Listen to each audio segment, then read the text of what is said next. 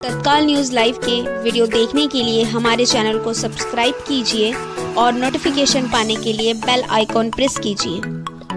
नमस्कार, मैं हूँ सोनिका और आप देख रहे हो तत्काल न्यूज़ लाइव।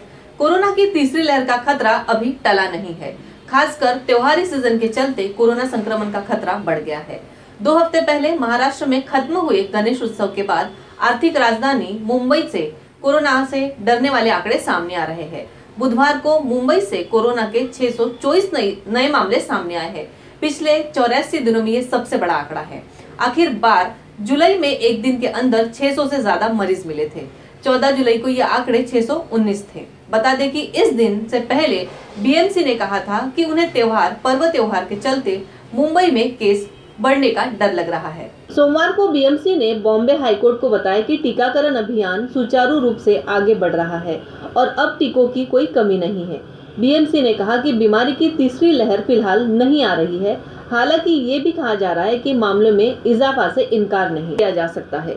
बीएमसी के अतिरिक्त नगर आयुक्त सुरेश काकानी ने अंग्रेज़ी अखबार हिंदुस्तान टाइम से बातचीत करते हुए कहा, शहर में हालात अभी बहुत ठीक है।